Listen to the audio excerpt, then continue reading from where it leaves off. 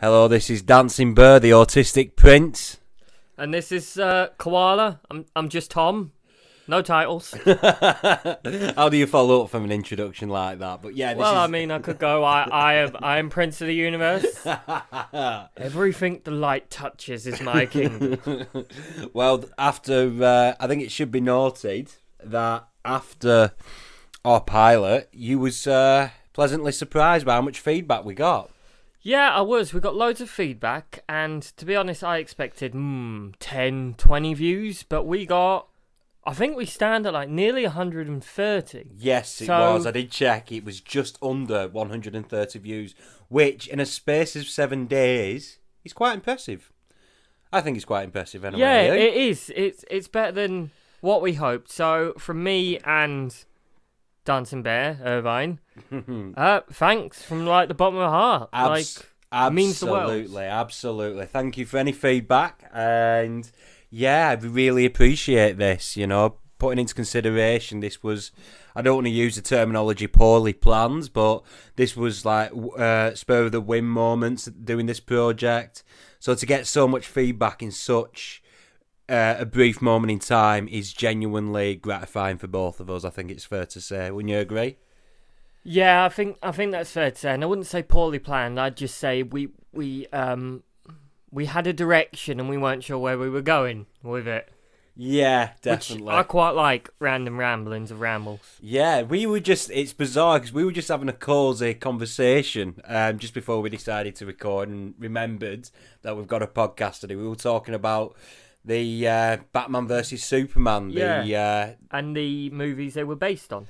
yeah, so, I mean, so I, I was in, genuinely enjoying listening to Tom, but you was you was talking about, in it was did you say the animated series or the comics? Yeah, so the Batman v Superman movie, Dawn of Justice, was an absolute slogfest of what, two out nearly three hours? Yeah. I think wasn't there a director's cut that was ridiculously long? Yeah, um, Which- I, I I only ever saw the film probably twice in my life, so See, I'm actually, as weird as it sounds, I'm actually against director's cuts.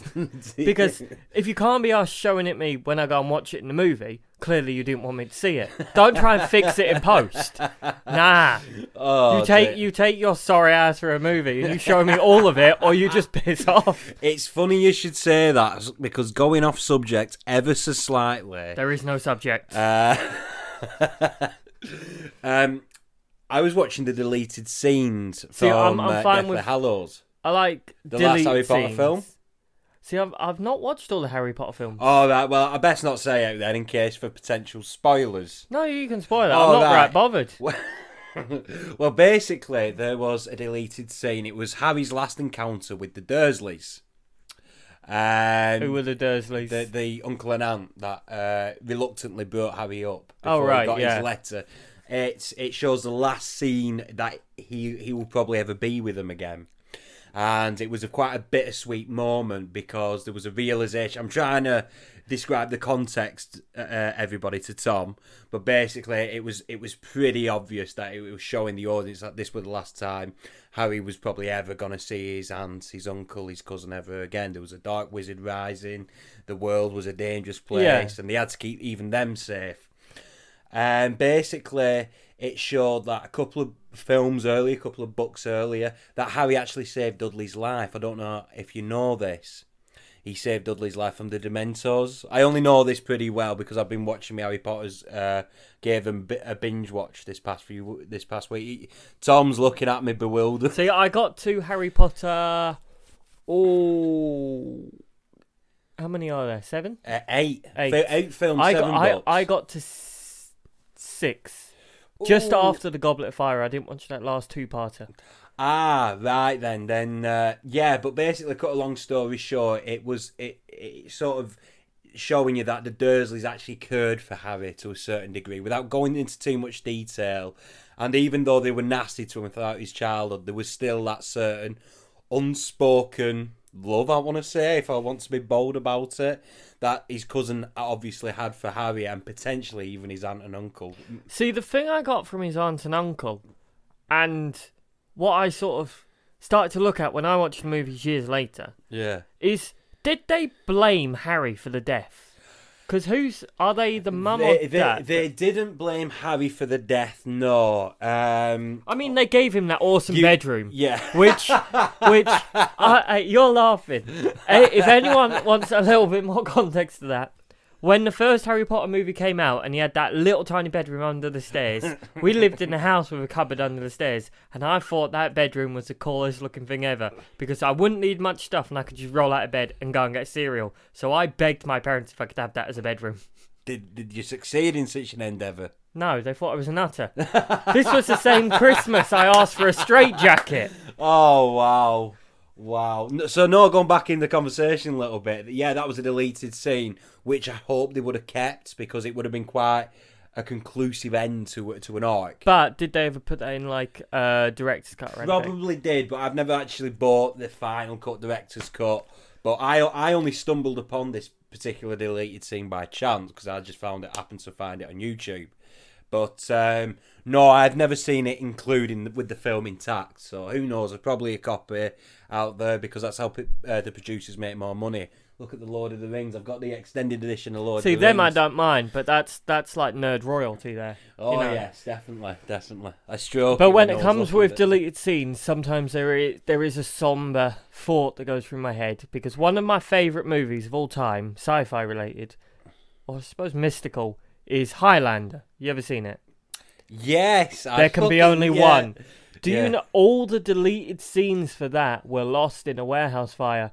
I didn't know. So you will never see the deleted scenes. And there is a deleted scene where um, Clancy Brown's character, I can't remember his name, the villain. I don't remember the names, but yeah, I do, I do remember a villain. So I think it's There's the a deleted guy. scene where it's really um, would have been nice to see because he goes to fight an immortal in New York City who uses two swords Right. and apparently comes out on top. And that would because everyone else in the Highland universe uses one. Right. I mean, some use axes and that in the TV you seem series. quite well versed in this. Are you a big fan of Highlander? I am. I mean, it's the movie that gave us Queen's. It's a kind of magic. Yeah. very true. And who wants to live forever? And Oh, did Oh, that come from Highlander as well? I know um, it's kind of magic. Um, Highlander, when the people approached um, Queen to make music, uh, and Princes of the Universe. Yeah, know Prince that of the Universe, uh, originally, apparently, uh, it was either the whole band or Freddie Mercury took such a liking to the script and the, the characters and stuff that they, instead of writing one song, they wrote three or four, including in the movie, there is a version of New York, New York by Frank Sinatra, sung by Queen. Wow. oh, and I, didn't think know that. that's that's one that goes over everyone's head, and it's hard to track down sometimes. It's not on any of their hell. albums, but yeah, it's in it's in Highlander. Fair enough. I wanted to go back in the conversation that are ever faithful, and we know, now know we have an audience. Yeah. we genuinely have an Uh, audience. possibly 120 So- people, or just like two people watching it over and over again. Well, It's which definitely one- not us. but no, no, no. Um, something that piqued my curiosity. Now, as you as you as you know, uh, you've been my friend for what Nick, ten years. Yeah, 10, 11 years. I am a massive. worst time of my life. I am a humongous Doctor Who fan, and Koala Tom, whatever his preference, he's really like he's really Tom. not lying about being a humongous Doctor Who fan. Yeah, he's got much. a blue suitcase. I'm pretty sure he only got it because like it looks like a And, and a little TARDIS somewhere. Oh, there there you go. I think ev- I've got a little TARDIS. I've got everyone's got a little TARDIS. I've got that one filled with like cards. Anyway, you said something that piqued my curiosity about five minutes ago. You don't like Christopher Eccleston. Please elaborate. I just didn't like. I like Did you not like his portrayal of the Doctor? when he when like he came him? back. Yes, you look at the picture When, I've when- got of him. Yeah, it, it's just like a six foot tall, fully nude Christopher. No, it, it's just like a canvas of every single Doctor. But no, when Doctor Who came back, obviously I I knew it from watching it like on reruns with my parents or uh, the movie with Paul McGann. Paul McGann. Um, so when Christopher Eccles came back, is it Eccles or Eccleston? Christopher Eccleston. Yes. Yeah. I don't know, it, it was a bit surreal seeing this like nearly skinhead, angry northern bloke stomp around as Doctor, and he he had some good scenes. He had some good episodes, like um Was he The- not the Doctor to you though? the Was one he- that always sticks in my head and everyone else's head Yeah. is one episode in particular. And it- it's the first one with Captain Jack. Are you Uh, my mummy? yeah. now, when that episode came on, This- go on. I was genuinely hiding behind the sofa. Were you genuinely? it I know was terrifying. It was it was terrifying to me. But no, I just when I think he could have stood to be the Doctor a bit longer. There's Really, a reason why he left after But- the first season, though. I don't know if you know, but go on. I know he didn't. Was it he didn't like the character or something? And what always sticks with me is when an actor or someone gets a part for such a beloved, iconic character, be it like Doctor Who or a captain in like Star Trek or Star Wars or something. Like you have a part in Star Wars, Harrison Ford. Why don't you like it? Does Harrison Ford not like He Star Wars? hates being. I can understand it to I a certain degree because he might have felt people. the only- "Hey, you from Star Wars. I you think know, the might- the only sci-fi movie he actually really likes is um that he's in is Blade Runner. He doesn't. I don't think he's a big sci-fi fan. No, I can understand that to a certain degree. Obviously, if you're an actor, especially if you're mainstream and you're well known, you are going to be part of certain projects of a certain genre that's not necessarily your forte. That's not necessarily your go-to thing. Hmm. That yeah, I can I can totally understand that, but. At the same time, though, that you got to put into consideration, including Christopher Eccleston, very, very similar argument, as you will, or point I'm about to establish, is how many times you got to put into consideration. I'm not justifying Christopher Eccleston because I can add another, shed some light into your argument as well. But how many times have fans gone on? Oh, it's Han Solo from Star Wars. I know. Yeah. Do you know what I mean? You I got to put that into that, consideration. that that would get annoying. yeah, and it, could be, be extremely redundant. But go on. um, and Doctor Who fans and just fans, many fandoms, they're quite fanatical. yes, like, yes, so- extreme is the correct word to use. Fanatical, zealous, Zealous. crazy. Uh, Um, but like, I mean, we'd all do, like if I was walking down the road and you saw like, I don't know, like David Tennant, oh my god! oh yeah, I'd completely mark Like, out. I and he's like, yes, yes, I played Yeah. the Doctor. oh no, I know you from Jessica Jones, fantastic series. You, you have you watched it yet? I have seen it. Yes, my brother He got me into it not long He's ago. an Actually, amazing villain in it. yeah. After that, it goes downhill when he he's no longer in it. But um, I don't. I'm still uh, a couple of episodes in season one, so there was a new show that he was in though. David Tennant. It's re- it's fairly recent with Martin Sheen. Good Omens. That's the one. Yeah, I'm about two episodes and I've just literally just started watching it, and oh my god, it looks brilliant. I have an impression of it. I have a thought on it. I did love it, and then when I started thinking about it more critically, I have a very unpopular opinion about it. What is your unpopular opinion? See Be now, I love Terry Pratchett. Growing up with um, a real bad form of dyslexia, Terry Pratchett is a really easy read. They're small books. They're proper British humour. The, Right. n- the what is it? The nice and proper ac- uh, prophecies of a nutter right. in Good Omens, and so you can tell it's got proper British humour in that show. Uh, Neil Gaiman, he's a fantastic writer because he does supernatural worlds or mystical worlds I in the am mo- familiar with a lot of Neil Gaiman, w- Gaiman's in the works, modern actually. day. Yeah, absolutely. But my thing with Good Omens is a show, and obviously Terry Pratchett is dead. yeah, God rest his soul. unfortunately. and one of his things was he never ever wanted Hollywood to get hold of any of his rights because he didn't trust them, understandably so. and he even hated TV shows being made. Did he? Yes. When he did, he got full creative control. So this was instead has Neil Gaiman overseeing everything. But my thing with Good Omens is if you had someone else playing uh Crowley and um the angel Martin Sheen. Yeah, yeah. Martin Sheen's character. Can't actually remember his name. Bearing Man. I'm only two episodes in, but go on. It wouldn't be a very good show. They make it. Without them it, it's quite a Yeah, you've actually got a very valid point there, to be honest with you, because storyline wise, it's not. There's a story to it, but it's not very. What's the? It's quite superficial. I want to say. It's not that. It's it is a good show. It's a good storyline. I just they make it. They have such amazing chemistry. Those two. They have such. Do you reckon it's the chemistry between the two actors Yeah, that, yeah. Are, that are, that are making it you, what it is? it's one of them things. It's without those two, the show would fall apart because All the other people in it, they can act, yeah, but they're quite boring. Yeah. Anyway, we got incredibly sidetracked then. We, We got did. from Good Omens to why your dislike of Christopher Eccleston. No, no, you sort of you sort of explained why. Well, I mean, we didn't. We did the thing where we jumped, didn't we? Yeah. Christopher Eccleston was in Doctor Who, and Yeah, then I look said, at his "Oh, if you, picture." if, if you see David Tennant, and David Tennant was in Jessica Jones, Yeah. and Jessica Jones, and David Tennant, David Tennant is in Good Omens." Please forgive us, ladies and gentlemen. We will do this. It's not intentional. It's just instinctive why we get, or specifically, I, I suppose I get more sidetracked than anyone. But anyway, Yeah, but the sidetracking makes it. That's Yeah. that's kind of what I like because we just ramble. yeah. Um, Christopher Eccleston. Look, I want you to look at. He's great. I can't even see him. I've got He- put, oh, there he is. I can't believe. Matt I, I can't believe I missed that. I want you to look in his eyes. he looks like it- a caveman, doesn't he? But look, just look at him compared to every other Doctor. He stands out.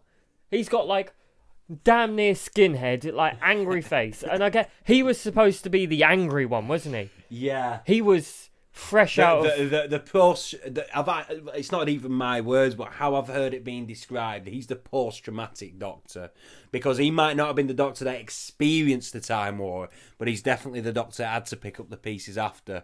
Now that isn't even me explaining it. I that was a fellow Doctor Who fan I heard explaining it, and what a better. I can't, I cannot fathom. Yeah, because nor think of a better way to explain. I, I really liked some of his episodes. I Yeah. liked like one of my favourite is when the now famous aliens in it, the Slitheen, show up.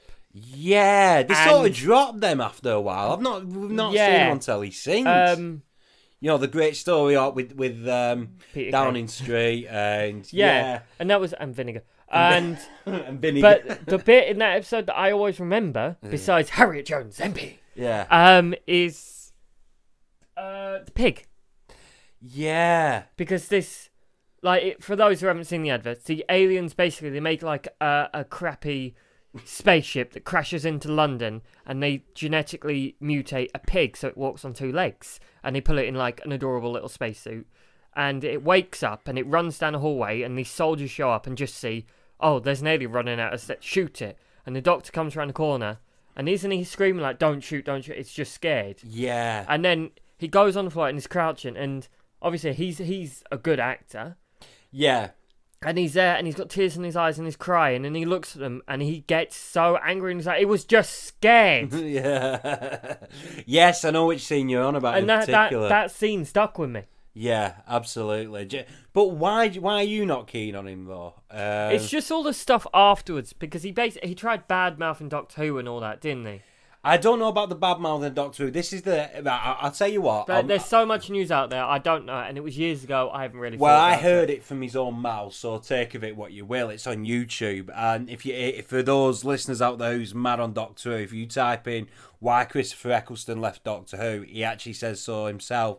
For some reason, the way he describes it now, he doesn't mention the name, but I know exactly who he's referring to, and I'm sorry if anyone who happens to be slightly famous, who's happened to work in the BBC, listens to this. I am sorry, but it's time for the truth.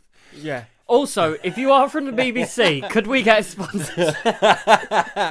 Christopher Eccleston didn't get on with the showrunner. Well, no, he did originally, but he had a serious falling out with the showrunner, Russell T Davies. I know that name. You probably do. He's worked on Queer as Folk, The Second Coming, which he asked Christopher Eccleston to be the uh, main character in that. He's pretty much the main reason why Doctor Who returned in 2005. So if you ever Oh, wondered why it came back to t- television, folks, it's because of Russell T Davies, the Godfather, and I, and I will use this title, the Godfather of television writing. He's not a, a guy out there, especially who's had the grace to work in the BBC. In my personal Did he write humble some opinion, of Sherlock? No, that was Steven Moffat. All right. Yeah, it's a good writer, but not as good as Russell T Davies. Just saying. Personal Back off. opinions. Personal opinion. That's my humble opinion. Also the truth. No, it's my personal humble opinion. Just to put it out there. But yes, anyway, go on.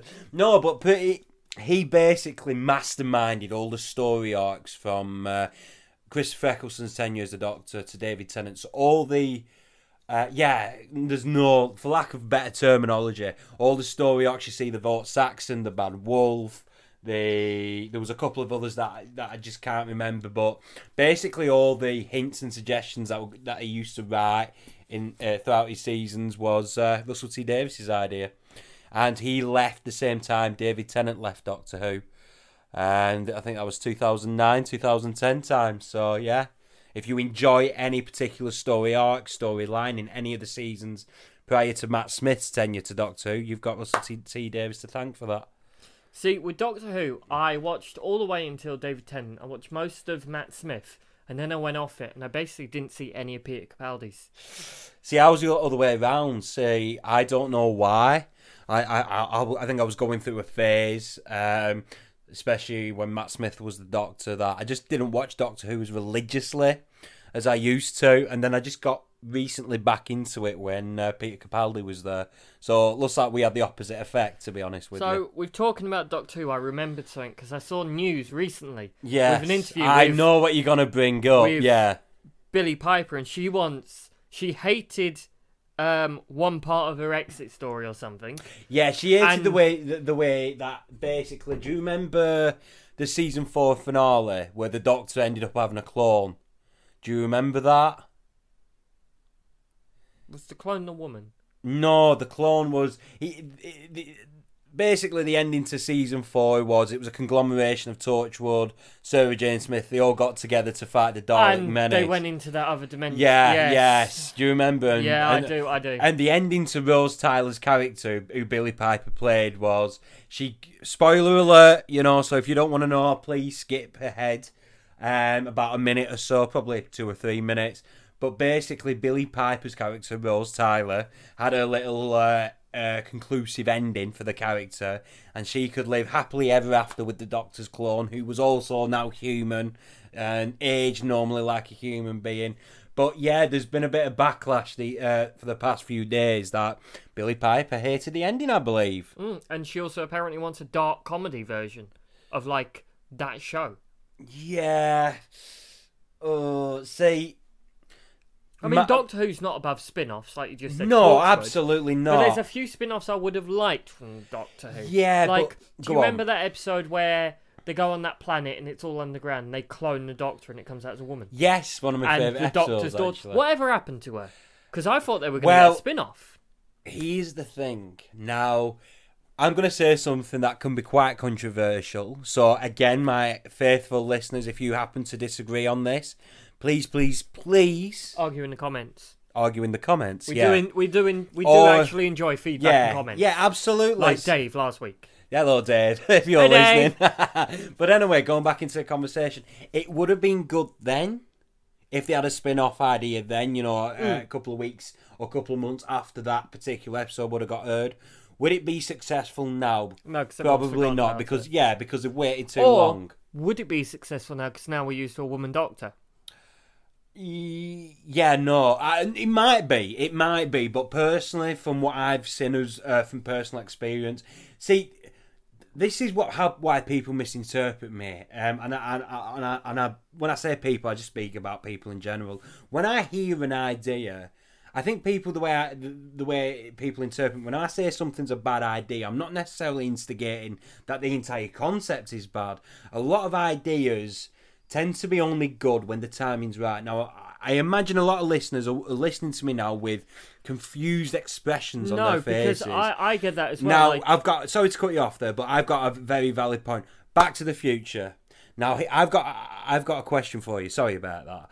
Could you say Back to the Future would be as equally as successful if it got released today? Well, no, because everyone that's in it would be old now. Or Well, no, do you know what I mean? If the concept Come on, of Back to Marty! the- but the concept of Back to the Future, good idea, but would it be as good? No. Do you know what I'm trying to get at? But go Because on. too much been done a now. But how there. many time travel shows and things are based on Back to the Future and Doctor Who? And Ex- yeah, it's like yeah. saying, would Elvis be as good as he is if he came out now instead of back then? Well, if he didn't come out back then, we wouldn't have rock now. So probably. Yeah, very well, we true. wouldn't. We would because there were still other artists around like it. But you know what I mean? Yeah, definitely, It's definitely. like some things that didn't do well back in the day would do much better now. what, like, if you had to give a, uh, an example, what what would you say? If you if you think a, a particular TV show would be more successful if it got released today than it would, say, 20, 30 years ago, do you have anything any in particular, or Ooh. Um. No. No. I mean, but there there were some that were probably too ahead of their time, or I would say certain shows, especially within um, British TV shows, because they just didn't have the money as Yeah. America did. Um, certain shows such as I, like, I, I think I was speaking to you about it. Not many people know what this is, but a show called Blake Seven, I feel would have been a lot more successful if it got released today. Blake Seven is what I know the name, but I cannot think of anything about it. Basically, it's But called. I grew up watching like basically whatever my dad watched on TV. So I, I was growing up watching like old. British yeah, shows go on. What did or- you actually grow up with? I Like- we used to like uh, sci-fi stuff, like what was on the sci-fi channel and stuff. So I grew up watching things like Sanctuary. I don't know if you. I ever watched that. Sanctuary. Yeah, that was with forgotten name Amanda Tapping. I want to Yeah, say. oh, Amanda Tapping. Do you like Amanda Oh, Tapping? Um, Fuck's sake. Do you like Amanda as an actress? I mean, to I say. don't. Is she British? Right. Um. She. I think she herself is now. Please correct me in the comment section if I'm wrong. I can't remember if she was. Um, I think she's Canadian. I want to say. Oh God, I'm going to get so much shit in the comment section. Although I do know that her grandmother was English. Now Tom's about to look it up on Google. I suppose I should have done the same. But yeah, it's. I think I. Watch this. She's probably something. She's probably got a completely different nationality but uh, we will find out as uh, my colleague is looking it up. But basically, I know for a fact Amanda Tapping's grandmother is English. So yeah, And uh, else? Oh, things like. Uh, was it Special Unit Nine or Special Unit Five or something? Warehouse. No, I'm thinking of Yeah, Warehouse isn't 13. I did. I watched. I loved. I want it back. Why is it gone? What happened to Warehouse 13? Because I never was that much into it. It did, it had a definitive ending. It, it did it. yeah. Fair enough. Fair enough. But if if anyone wants to watch a good sci-fi show, um, Warehouse 13 is It was a spin-off of uh, Tom Called Eureka, wasn't no. it? It was. I think it was supposed to be set in the same universe because it was also made by the Sci-Fi Channel. Right. So Warehouse 13. Sometimes the characters from that were in the background of a town called Eureka, and a town called Eureka characters were sometimes in Warehouse 13. Hmm, A town called Eureka dealt with like um, science problems, and Warehouse 13 was all the mystical problems, and it was really good, and it, it had oh, it was so good. Oh, I, I never uh, I try, I've I've seen of I've seen all of Town Called Eureka because my mum's a massive fan, but uh, no, I can't say I got into Warehouse Thirteen through my own, my um, you know I probably missed out on that one. So It's it's definitely worth a watch. I mean, because sci-fi they bless them, they tried to replace it with the librarians. was that any good? It had like it seemed like it had half the budget, and Oh dear. I mean, you had the movies, but you didn't have the um, yeah, Amanda Tapping's Canadian. Yay! What a guess. English Canadian. But I mean, I also grew up watching the shows, the legends that are those shows that will always be loved and probably shouldn't be. What's that? Xena, Warrior Princess, and Hercules. Me, again, my mum and dad were massive fans of that. Um, I did like Andromeda though. Do you remember that? Andromeda, I loved. I did enjoy- Andromeda was enjoy one of my Andromeda. favourite. Yeah, I did like that. I mean, say the stu- the concept of Andromeda was pretty cool. The acting wasn't always brilliant. No, but but Andro- that concept has been done so many times. Like a ship that's been adrift for so many years, and the crew is like, like Cheers preserved. from Home, a Lone Ranger, you know and that type he- of it's- feel it's- to it. He wakes up and he's a man out of time. and, Yeah. you know things like that. But Very. It was. If, if, if, if you pardon the uh, euphemism here, it was life on Mars before life on Mars, if you know what I mean by that description. Yeah. You know, the whole a man or a person out of his time concept. I mean, it, that didn't really get truly explored until Sam Tyler's Life on Mars, which is one of the best shows that the BBC's ever produced, in my I humble mean, opinion. yeah, but Sam So I keep Tyler's got clapping my hand nothing on DCI Gene Hunt. No. Please describe uh, the character Gene Hunt for those Right. who may not be aware of him. I think you, Well- you'll be better off describing his character than I- most. imagine uh, you're in your school playground and there's this really, really badass kid. Boisterous. boisterous, loud. He could probably kick the shit out of anyone. you know, you want to make this guy your friend, And then out of the corner, Gene Hunt comes along, and he's even cooler than this guy, and he makes that guy his little bitch. That is Gene Hunt. He's got a he's got a spoiler on his official police car, and he, he's it's just oh. I, I bet you can go on YouTube and just type in Gene Hunt best bits. Yeah, I am a big. F- I, I'm not- just saying this to just jump on the bandwagon or just put money on a winning horse here. I, for many many years now, I, I'm a huge fan of Phil Glenister. For those who are not aware, he portrayed Like Gene me. Hunt. Hmm? I just know him as Gene Hunt. He's He's- called- the- the problem is he's never going to escape that role. No, he Which- isn't. It's sad in some if, aspects, if you but if you were an actor, would you want to get like typecast or like known as just one character? see, I'm like, quite down to earth. Harrison so- Ford is always going to be Han Solo or Indiana Jones. yeah. David Tennant's always going to be the Doctor. Gene Yeah. Hunt is always going to be Gene Hunt. Mark Hamill's always going to be Luke Skywalker. Well, my gener- he's the Joker to me.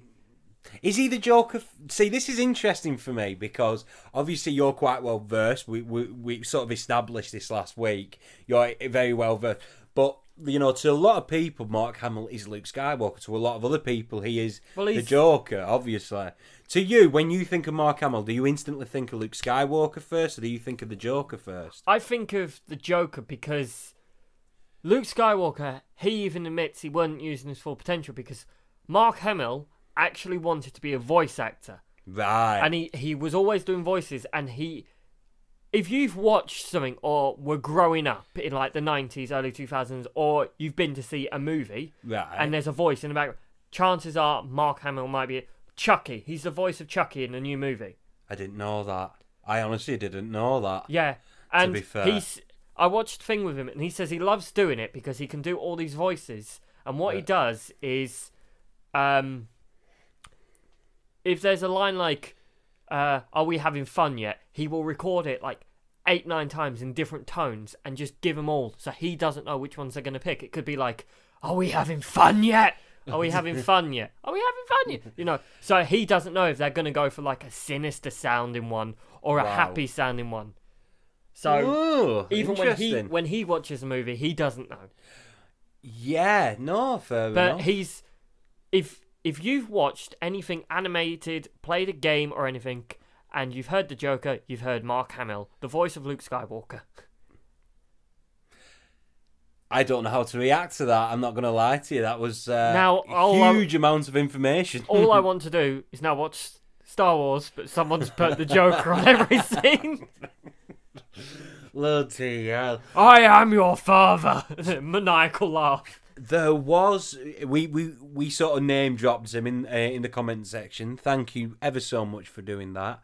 But when we was talking about Disney last week, um, We did get a few things wrong, but in fairness, we were just rambling, and there were facts all over the place. yeah, I don't want to go over it again because it would take up too much time. No, um, but what I what I do want to bring up is uh, one of the people in the comment section. I don't know if he'll appreciate us bringing up his name. We already have done once.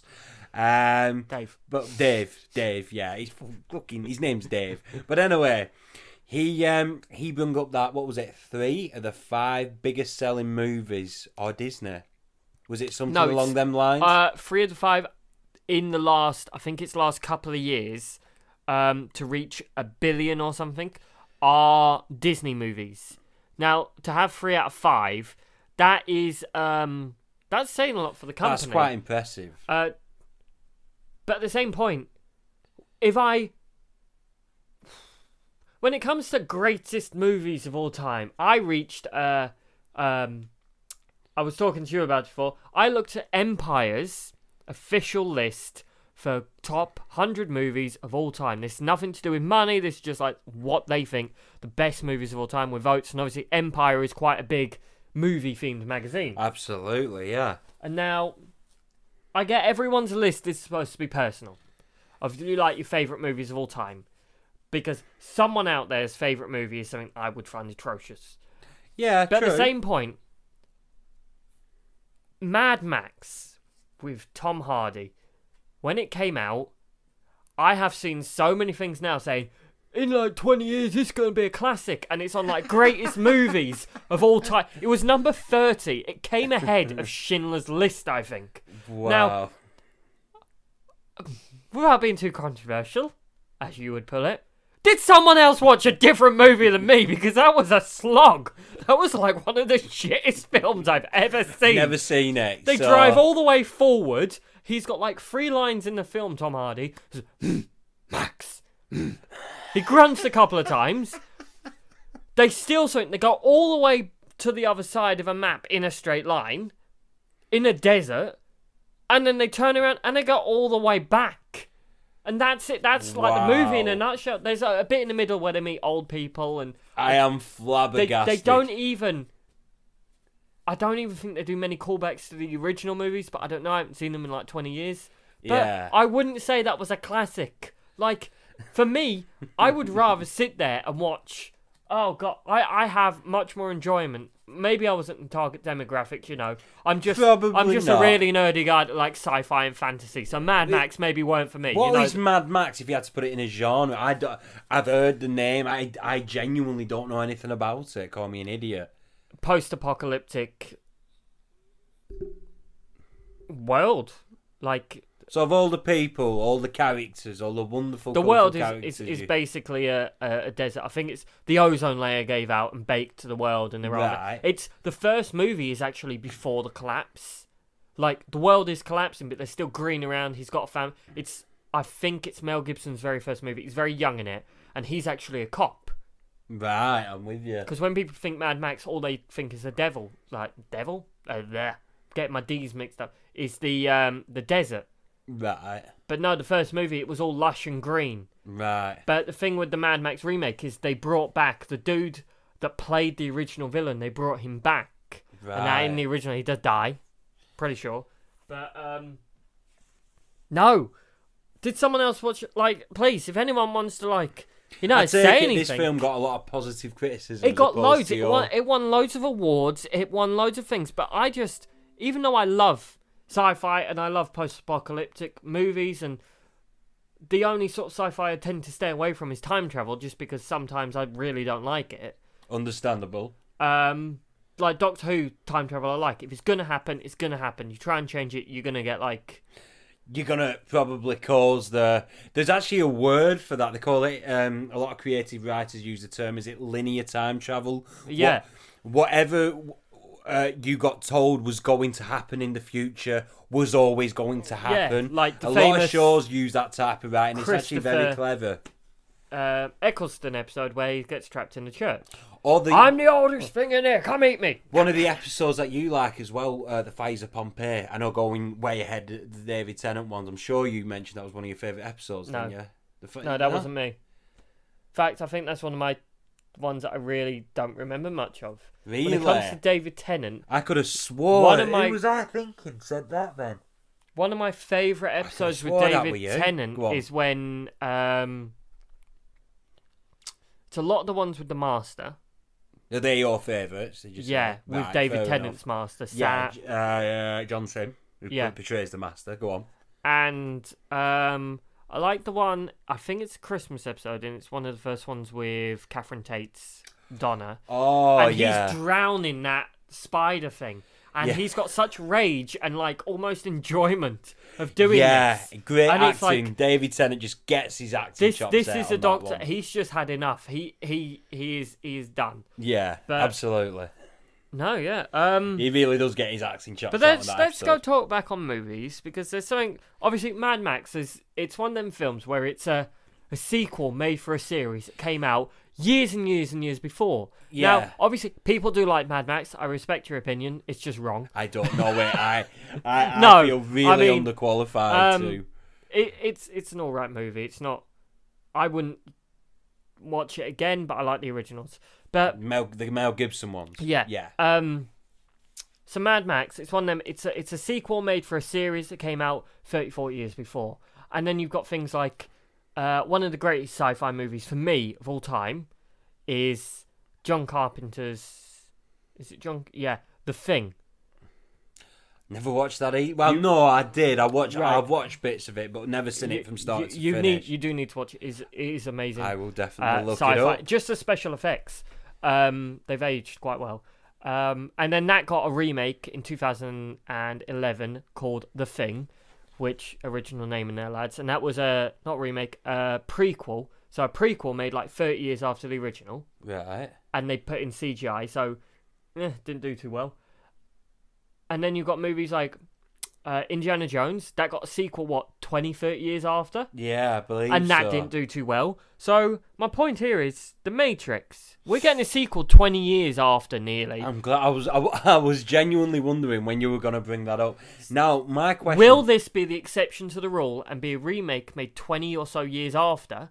Yeah. What, a sequel made twenty or so years after that is actually going to be any good? Will it be a soft reboot or will it be a genuine, legit continuation? Now, but with the Matrix, when it was first made, the internet was in its like infancy. So a lot of the ideas and things they had to like give a light brush to. And you go back and watch it now with like modern sensibilities, you understand it a lot better and everything they're trying to do. Yeah. So I think the Matrix is one of them films. It works a lot better now, like social media and VR and We discussed this very briefly on our phone calls um, earlier on this week because, funnily enough, listeners, we actually got the news that uh, um, the Matrix, the what what are the name the the sisters? I can never pronounce the name. Wachowski sisters, um, or something to that effect. That people were planning basically to do a follow up to Because the Matrix. they they've done a remake of the original. They've updated the CGI and the sound. Have they? Yeah. See, I didn't even know that for the so- 20 year anniversary. Feel Wow, old yet? so it's oh, just a bit. Um, but I remember, I remember when the very first Matrix got released. I was only a very, I was only a kid at the time, but I do remember it. I when it comes to Matrix, one of my favorite things is sitting there watching it with my dad. Ooh, wasn't even that long ago, maybe 10 years ago. And my dad sits there and he goes, "I love this film. I just wish I could understand it." It is really funny because I, I actually remember I was having a very, very similar conversation with my mum and dad. And my dad, to this day, bearing in mind, this film is 20 years old, or the trilogy are roughly approaching the 20 year mark. The very first Matrix is 20 years old, anyway. But the trilogy in itself is nearly 20 years old. My dad, to this day, cannot understand it. Understandably so. A lot of people that I know on a personal basis doesn't have the Even the first clue what the Matrix is at all so when about. when they made the movie, it, it's got all this like deep, heavy philosophical meanings and that in. Yeah. So all the cast and crew, uh, all the actors and everything, were given big books of like philosophical stuff Yeah. to read through, Yeah. so they they knew what they were doing, which uh, no one can remember except one person. The only person from the Matrix who 20 years on can still talk about heavy f- like philosophy based stuff and like you know what is real. Am I if if you go if you dream and you're in your dream you're a butterfly and then you wake up and you're a man which one are you the butterfly like it's a weird mind-boggling. Really? yeah the only person that can remember it all off the top of his head and enjoys it is Laurence Fishburne I was gonna say I bet he is a very yeah. intelligent man Yeah. but Wow. also um I'm shocked that Keanu Reeves doesn't because like he seems like someone that transcends humanity. I mean, he obviously he's an immortal man, so he's got a lot of time. he still looks like he's in his early twenties, No, twenty years He, old. he has aged, Oh, yeah. um, but obviously he's How old is back. he now, Keanu Reeves? Like fifty, he's in his fifties. He doesn't look it. I'm sorry, but to this day, I know I'm sort of going going along what everyone else is saying. He does not look like someone in his fifties. But he takes care of himself really well, doesn't he? Yeah, I mean, I Paul so. Rudd. Yeah, true. I don't even have to say any more. I, d- I don't even have to. He is the. You know when Marvel take like pictures of people's face so they can DCGI them. Yeah. Like you have like in uh, Captain Marvel, you have like a younger Yeah. um, Phil Coulson and a younger Samuel L. Jackson, and in other movies you had like all that magic CGI with like um, oh who plays Ego? Ooh. Oh, and a, a, a younger, um, I don't know what a younger Michael Douglas. Yeah, I know who you're referring to. I can't remember, but go on. Paul Rudd's the only one they haven't taken any like CGI of his face because he hasn't aged. Fucking hell. Oh, do you reckon? I know this is just a Anyway, question. back to the Matrix. Go on, back to the Matrix. back to Matrix. So, the Matrix, I think now, and directing it and writing it, only one of the sisters have come back. Really? Yeah. Bloody hell. Um, so how come they both not come back? What? Just one I, I honestly don't know. I don't think anyone does. Maybe they just wash their hands with it. political intrigue, everybody. dun dun. Dun. but so at least you do have an original writer, yeah. and no, I mean that. As far as I know, they're really close. So you know, if you're Yeah. writing the movie and your sister is one of like your best friends, Yeah. I mean, these brothers grew up as brothers and then became sisters. So Yeah, I bet that's interesting. yeah, and they've got two other sisters as well. Like that, they're obviously they're going to talk to each other and like, hey, I don't know what to do in this part of the script. Well, have you tried this? Oh yeah, that would be good. So I think unofficially they're both going to be writing But it. But anyway, there- there is no disputing. I always get Wachowski. Did I pronounce that yeah, I think it's Wachowski. The Wachowski sisters are un- undoubtedly, undeniably the greatest minds in cinematography history. They have to be. no, because They have a, to be. They've got of, to be up there. a lot of the other stuff they've done has flopped. yeah, true. But I, and I, I think I, and I do acknowledge They, that. But I mean, to right, they you go right, on, right, go on, they're go on. they're really good. Right. But the problem is the stuff they write goes over most people's heads. Like even That's precisely my point, though. It's like, sorry to cut people off there. Could it be, and I hate to use this because I, I know a lot of people may not, potentially might not get it. Do you reckon it could be like the Vincent van Gogh effect? That people didn't appreciate a particular work until later on? uh, no, because I think I mean, I know just- Matrix. Obviously- I know the Matrix was successful anyway. Yeah, but when it when it came out, the internet was still like young, so people don't know. I think it's the same with Ghost in the Shell, Yeah. the anime. A lot of people understand all that better now than we did. So a new movie they can tackle, t- and a lot of things they they were advised not to do. Like for those who don't know, the original Matrix was supposed to. Uh, Neo was supposed to be trans. He was supposed to be a man I believe so. Yeah, I a man. He was supposed to be Keanu Reeves when they enter the simulation, but a woman when he's out. Yeah. So it's it's a, like inhabiting another body. So I Well- think they might do that now, or they're not scared. And But you got to think as well. Uh, sorry to cut you off there a little bit, but you got to think as well the type of minds that devised the the entire concept, the the the type of characters that are in the Matrix. I consider myself a very very incredible ama- amateur. all they did is take Writer. Tron and put guns in it. Let's face it. no, no, it's it's a lot more like Yeah. advanced than that. But Yeah.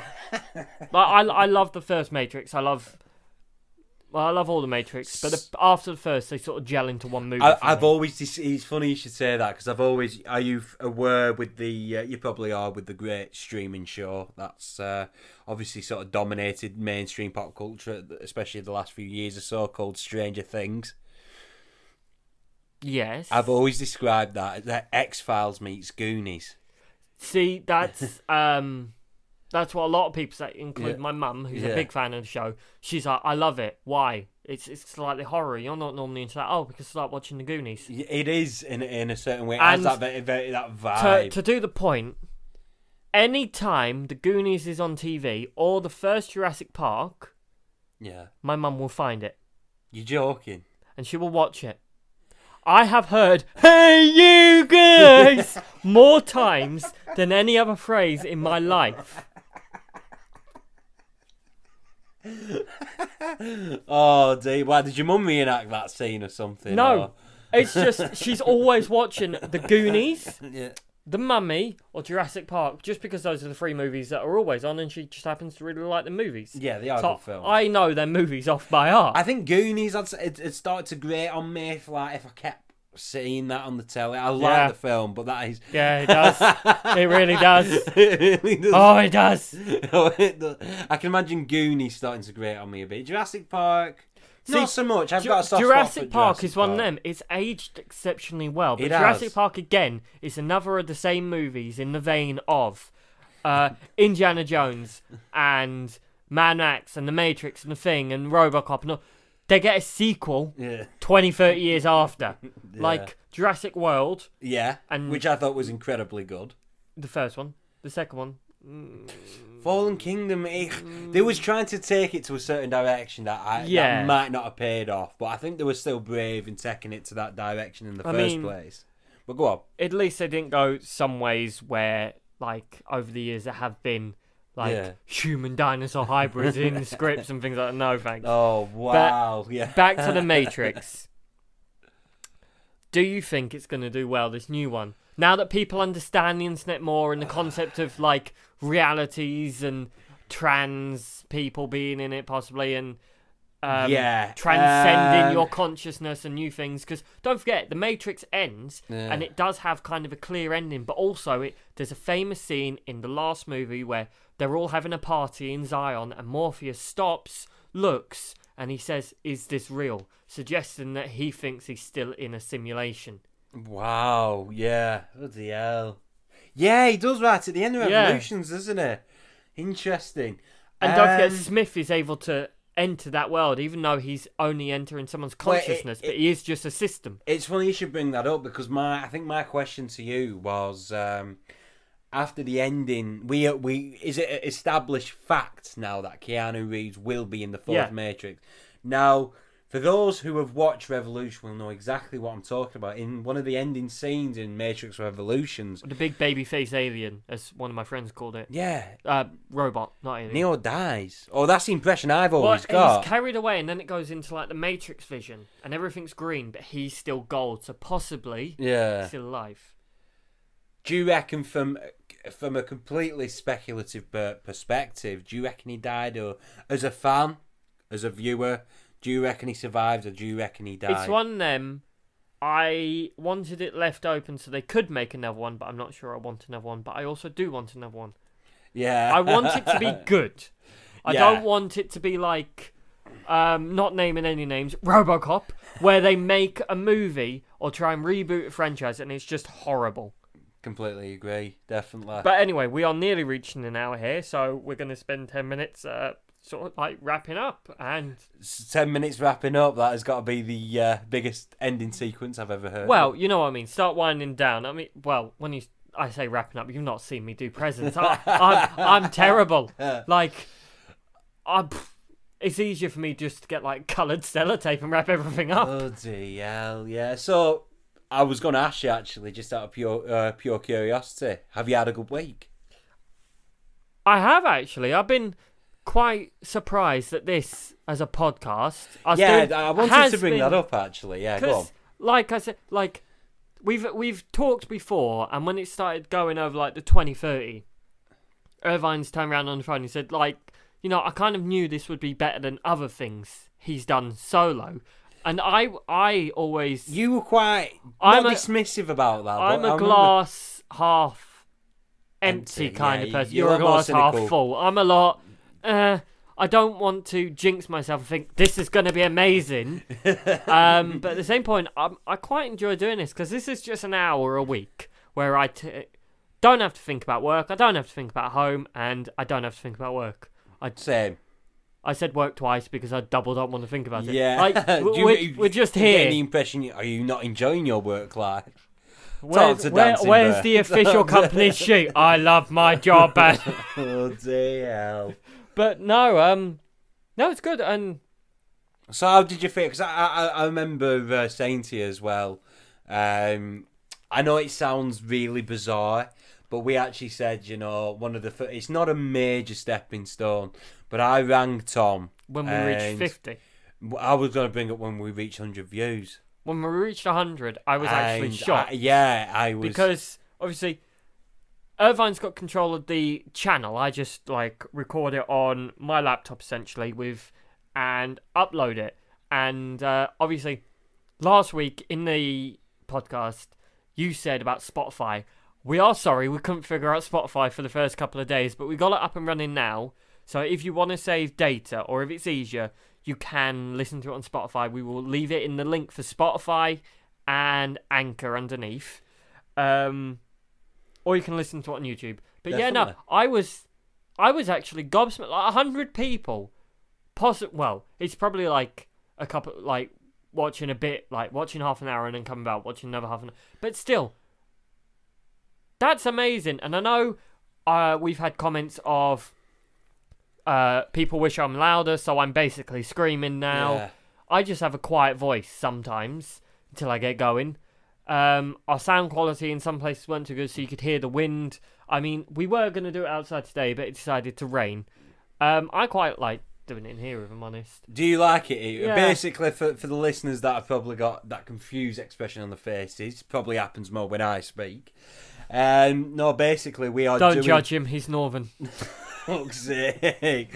But anyway, we we did the as Tom just explained the first episode in in my back garden. Today we're doing it in my bedroom. So, like, do you prefer it here or are you liking it outside? Honestly, as long as our sound quality is better. And um, last time we cut a lot, and we had breaks for sandwiches and all sorts. yeah. Um, and tea. It feels like Obvi- obvi- today's run a lot more obviously- smoothly. obviously we took tea breaks. We're British. You can't you can't can't go out without tea. But um we haven't this time actually.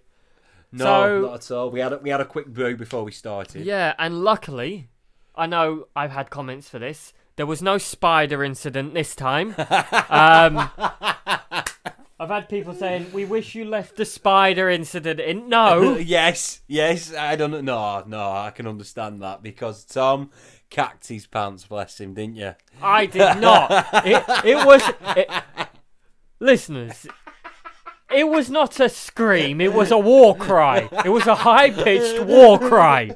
Oh dear, that was funny. Oh, I was hoping actually, you know, because that just spiders would come out of I, everywhere. I, I was gonna say before we go, it's entirely up to you. We can uh, leave our listeners to wait another week if that's your choice, but you could entertain the listeners with because you're very good at um, remembering certain stuff. Entertain our faithful faithful audience with a tale from college before we go. Oh, I think we've got time for that. Have we? Go on. Yeah. So, is uh, anything you can remember that? Uh, Oh, college time. College time. Because I only bring it up because the amount of times we we've talked about college on the phone. So I just thought it might only be fair if we include the audience into uh, our Well, listeners. College, word, college for us ended up all right because we ended up in a class of like thirty people that got whittled down to about six. Yes. So we, the tutors had a lot more time, which means unfortunately for them, they got to know us on a personal level sometimes. Um, there Well, was there was one time in college where Irvine was um, he wanted to do like some improv acting, and uh, Don't remember this. our tutor Michelle was like, "Well, fine."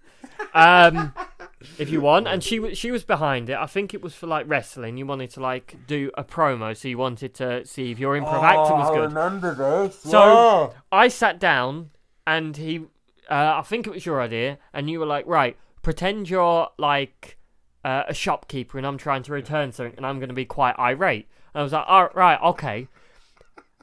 So we're in this letter. I'm sat behind this table. Everyone's watching. Tutor's there, smiling because you know she she quite she enjoyed knew it. something golden would go about Turkey. And Irvine took his shoe off and he put it on the table. He went, I bought this from your bloody store or something like that. And he got right in my face to the point where every time he started talking, I started backing away until I was a good six, seven feet away from where I started.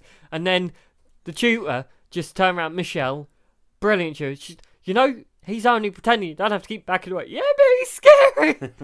and then you stopped. And you're like, all right, do you want to swap? And then you were supposed to be the customer or the um, person behind the till, and I was supposed to be the customer. And I came in, and your shoe was still on the table, so I banged it down, and instantly you burst out laughing. So the only thing that popped in my head naturally is, I bought this parrot, and it's dead. and you were like, Was No. it that much of a believable performance though? yeah.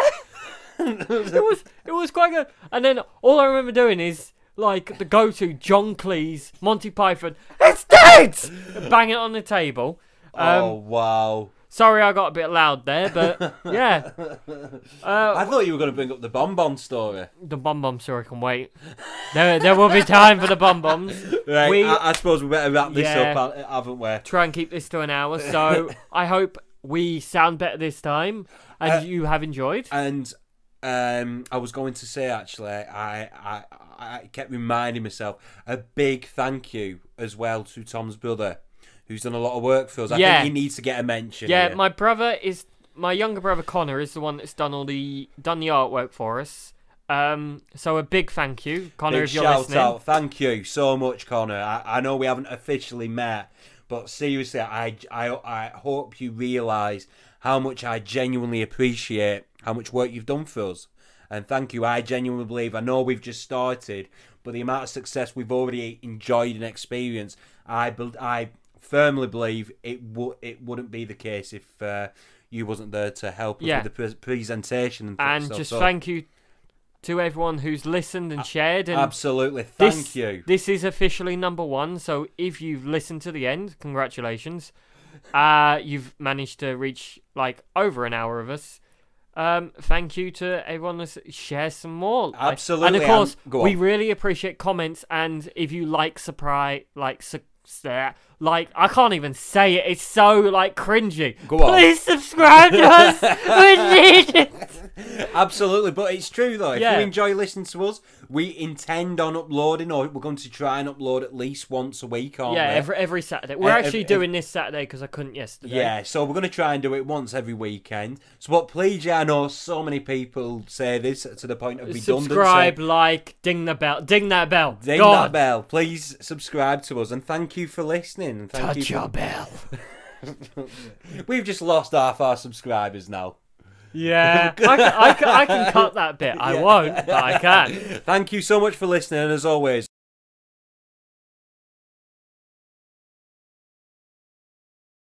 I've been Dancing Bear, And I've been Koala. and thanks for listening. Thanks for listening. Take it easy.